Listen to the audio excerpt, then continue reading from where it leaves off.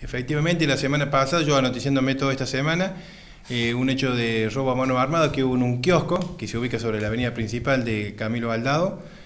Eh, bueno, solicitó el sumario, una serie de consultas con la fiscalía, se tomaron unos testimonios el día miércoles y en base a ellos eh, se nos autorizó un allanamiento en la localidad de General Valdicera en hora de la tarde del día de ayer, que arrojó resultado positivo en cuanto al secuestro de un arma de fuego que vamos a tratar de establecer en pasos eh, posteriores y tiene relación directa con el hecho que te estamos mencionando. Aquí en Corral de Bustos, eh, un hecho un tanto particular, ¿no? Con eh, una herida hacia un animal, hacia un perro, tenemos ese dato.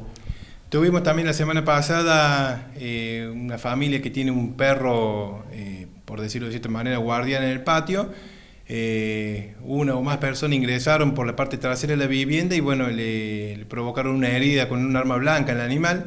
No sabemos si es por algún problema personal o particular con esta familia o si han querido intentar eh, eh, llevar a cabo algún ilícito en la propiedad. no se registran faltantes en la, en la vivienda, ¿no? No, no, no hubo ningún tipo de daño o de delito alguno en la vivienda. Solamente el daño hacia el animal. Exactamente.